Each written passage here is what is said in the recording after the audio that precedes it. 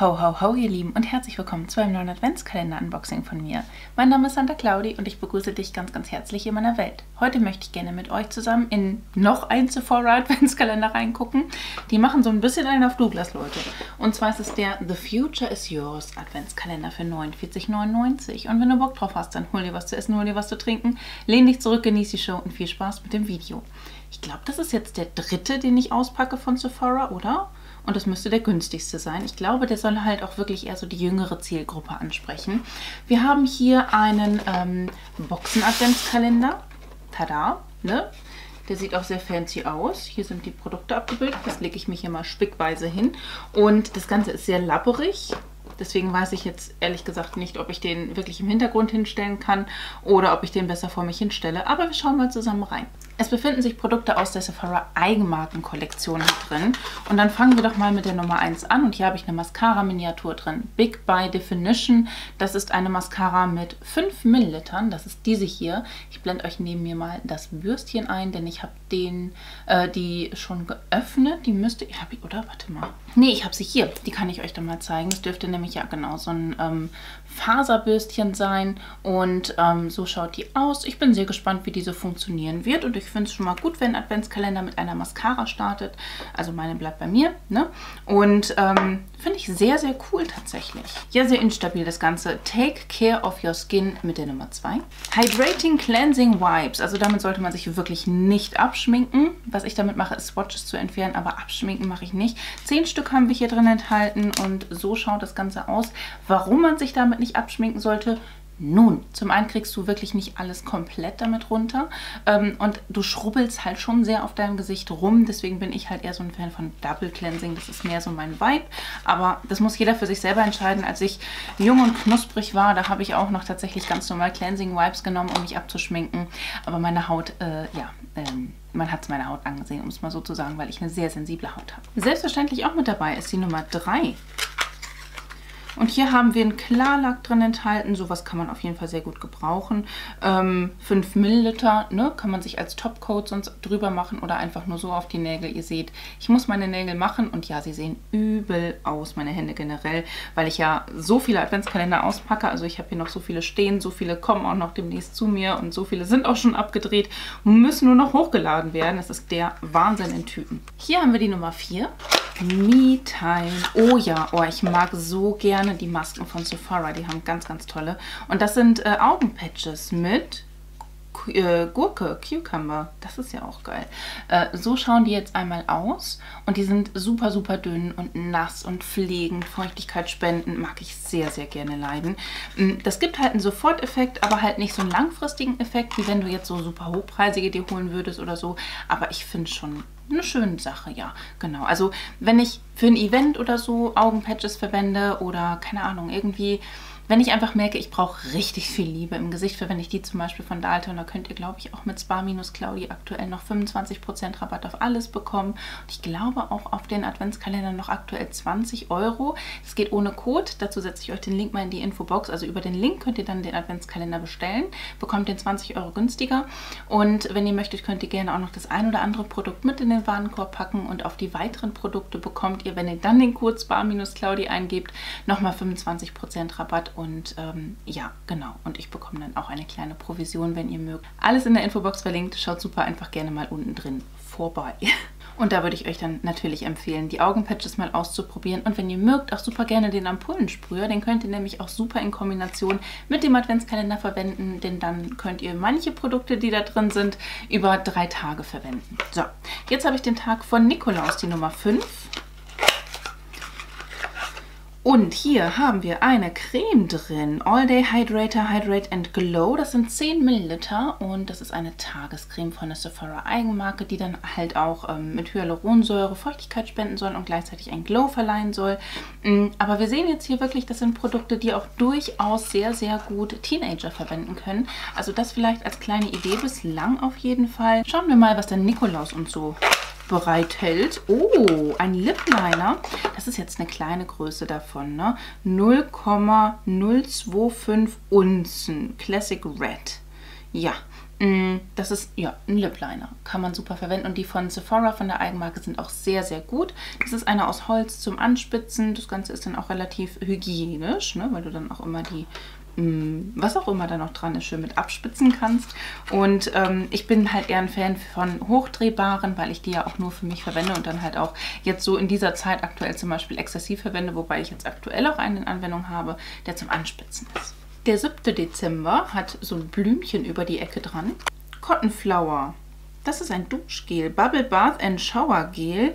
7,9 Milliliter. Das ist halt eine Probe. Ich finde sowas ein bisschen praktisch zum Verreisen, aber für zu Hause ist es manchmal so, hm, liegt bei mir meistens dann in der Schublade und wird nicht so wirklich verwendet, was ich schade finde. Ne? Die Nummer 8 darf machen, dass es kracht und die fühlt sich sehr leicht an. Vielleicht haben wir hier wieder was Maskenmäßiges drin. Nein, richtig cool. Die Sephora-Schwämmchen sind richtig gut, mag ich sehr, sehr gerne leiden. Und das ist jetzt hier so ein orangener und der ist auch schön fluffig und so. Ich glaube, mittlerweile gibt es auch gar nicht mehr so diese ultra harten Schwämmchen, weil die Firmen auch verstanden haben, dass die auch gar nicht so gut ankommen. Ne? Also finde ich gut. In der Nummer 9 dürfen wir uns darüber freuen, dass ein Auge uns anstarrt. Und es ist ein Typchen drin enthalten. Das ist Prebiotics Clean Clean Skin Gel. Cleanse and Tone, Face, Eyes, Neck, also Hals, Dekolleté und Augen. 15 Milliliter sind hier drin.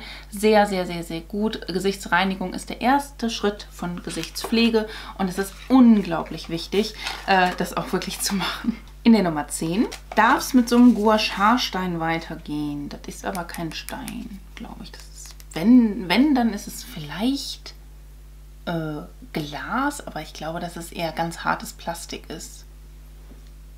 Ja, damit kann man halt sein äh, Gesichtsöl und Serum gut einarbeiten oder so Maskenreste. Ne? Und ähm, man macht damit halt so eine Art Lymphdrüsenmassage, ähm, was die Haut dann ja auch noch irgendwie mehr zum Glow bringen soll. Keine Ahnung, weil die ganzen Lymphen dann auch irgendwie aktiviert werden und alles Ekelkram abtransportieren können. Gar keine Ahnung. Aber also ich verwende tatsächlich einen Gouache-Stein. Dann nehme ich den von Maxim, den er in seinem Shop hat. Und ähm, das ist aber auch ein richtiger Gouache, ne? also kein Plastik. Die erste Schnapszahl, die Nummer 11, fühlt sich an, als wäre sie leer. Ist sie hoffentlich nicht. Nein.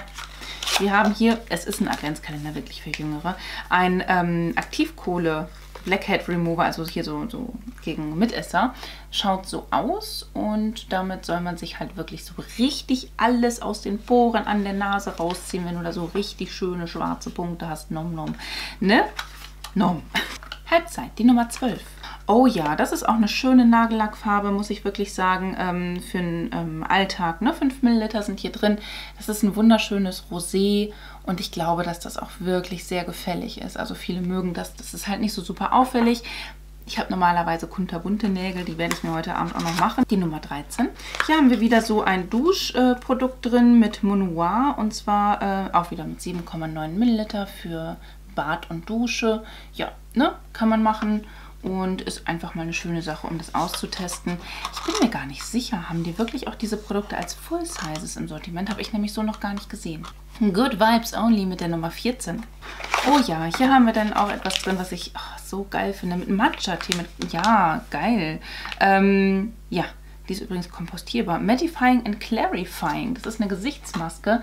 Und Leute, ich kann es euch wirklich nochmal sagen, die Masken von Sephora sind sehr, sehr gut. Die sind sehr dünn, sehr nass, sehr pflegend. Und äh, hier haben wir dann halt eine klärende Sache, die ich mir sehr gut auch jetzt auch vorstellen könnte, weil ich habe hier so eine Mr. Fred Ausflugsfamilie aufgrund von ähm, Erdbeerwoche. Und ich glaube, die werde ich mir heute Abend mal gönnen. Die Nummer 15. Red Lips Every Day. Oh, wir haben jetzt hier das passende Liquid Lipstick Produkt für unseren Lip Liner. Ähm, jo, das ist die Farbe Nummer 01, 5 ml. Ich glaube, das ist auch eine Full Size. Und äh, das ist halt so ein richtiger Cream Lip Stain, also wirklich Liquid Lipstick, der langanhaltend sein soll. Finde ich schön. Das passt halt auch zu einem Adventskalender, weil da sind rote Lippen, rote Nägel, alles in Rot und Gold. Richtig angesagt, das mag ich. Der 16. Dezember. Oh ja, hier haben wir einen Mini-Handspiegel drin. Das ist schon sehr, sehr klein. Ne? Also perfekt für eine Handtasche, perfekt, um ihn vielleicht auch in eine Geldbörse oder irgendwie in einen Faulenzer zu packen. Aber ja, ist halt schon sehr, sehr klein. Also mich damit zu schminken wäre jetzt ein bisschen crazy, aber für unterwegs, um nochmal so ein bisschen zu checken, sitzt der Lippenstift, sitzt das Augen-Make-up, hat die Mascara abgestempelt, ist es okay. Eine Woche vor Heiligabend haben wir hier den 17. Dezember. Das darf natürlich auch nicht fehlen. Wir haben hier eine Lippenmaske mit dabei, mit Kirsche. Und äh, ja, ich sage zwar immer Lippenmasken, oder ich sage es immer wieder, Lippenmasken brauchst du jetzt nicht so unbedingt. Da kannst du dir auch dick irgendwie Lippenpflege drauf machen. Aber ich habe wirklich jetzt immer mehr, auch gerade in der Zeit, wo ich jetzt Adventskalender-Unboxings mache oder im Hochsommer zum Beispiel, solche Produkte lieben gelernt, weil die sehr, sehr effizient sind. Und einfach nochmal so diesen extra Pflegestep geben. Ne? Und äh, die hier hält auch wirklich richtig richtig gut, die rutscht nicht oder sonst irgendwas flappt auch nicht weg. Sehr geil. Der 18. Dezember. Herzlich willkommen in der Weihnachtswoche. Oh, ein Scrunchie. Mhm, ja, sieht ganz süß aus. Also das ist so äh, orange, rosa, kariert. Ne? Und Scrunchies verwende ich jetzt in letzter Zeit tatsächlich immer häufiger. Ich habe jetzt hier auch gerade eins liegen, was ich mir eben erst aus den Haaren rausgemacht habe. Also ist okay, ne? Ich glaube, dass viele das auch von der Farbe her ganz nice finden werden. Also von daher, doch, das passt. Das ist ein Füllprodukt, was ich okay finde.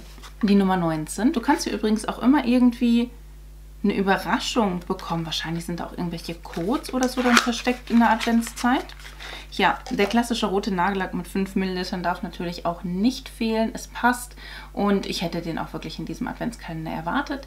Es ist jetzt der dritte Nagellack, weswegen ich sagen würde, noch ein Nagellack fände ich jetzt nicht so cool.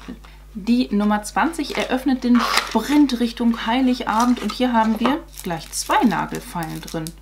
Das ist schon wieder cool. Die sind ein bisschen kleiner, aber wir haben hier zwei Stück drin. Das finde ich okay. Es ist wieder Füll, also es ist jetzt wirklich Füllprodukt auf Nagellack auf Füllprodukt, ne? Das ist jetzt nicht so mega fancy, aber immerhin sind es zwei Nagelfeilen. Die Nummer 21. Oh, ich sehe hier was mit Kaffee, also mit Kaffee. Mhm. Ah, ja. Es sind jetzt die zweiten Eye-Patches, aber es ist okay. Uh, Smoothing and Energizing. Das sind diese Koffein-Augen-Patches und das finde ich großartig. Kann man tatsächlich auch, glaube ich, kurz vor Weihnachten ganz gut gebrauchen, weil da ist man ja auch im Endspurt. Ne? Sowohl was äh, die Schüler und Schülerinnen angeht, aber auch die arbeitende Bevölkerung, also uns Erwachsene quasi, ähm, da geht es halt wirklich nochmal so richtig zur Sache, dass man da nochmal richtig Gas geben muss. Und äh, deswegen kann man dann auch solche Kaffee-Augen-Patches sehr gut gebrauchen, glaube ich. Die Nummer 22. Hier haben wir ein sehr, sehr kleines Typchen drin. Und zwar ist es eine Augencreme. Ne? Hätten sie vielleicht ein bisschen anders sortieren können, dass du nicht Auge auf Auge hast. Brightening Eye Cream mit Hyaluronsäure, 5 ml haben wir hier drin. Also eine schöne Größe, um das mal auszuprobieren. Und ich glaube auch 5 ml Augencreme, da kommt es schon eine Weile mit aus. Ne? Also finde ich gut, mag ich gerne leiden und äh, passt auch tatsächlich in den Adventskalender. Die beiden Produkte lassen jetzt nicht so mehr unbedingt vermuten, dass wir hier einen Adventskalender halt für einen klassischen Teenager oder so haben. Ne? Aber ähm, ja, wir gucken mal weiter. Ein Tag vor Heiligabend, das fühlt sich auch schon wieder sehr, sehr, sehr leer an. Shine Baby Shine. Okay.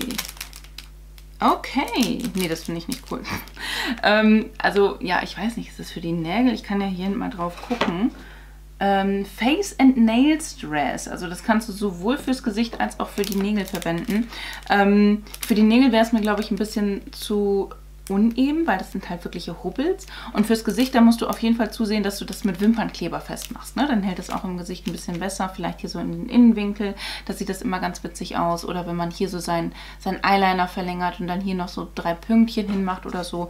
Und tatsächlich, ja, Heiligabend kann ich mir das gut vorstellen. Und da bin ich halt auch wirklich sehr, sehr gespannt, weil wir haben ja schon eine Mascara drin gehabt, aber das hier hört sich wie eine Mascara an.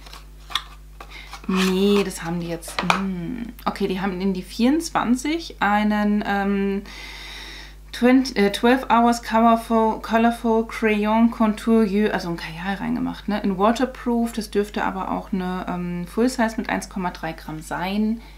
Also das hätte ich jetzt nicht so unbedingt in der 24 gesehen. Ne? Ist so ein Ding, was du auch so anspitzen kannst. Ist aus Plastik, aber kannst halt anspitzen.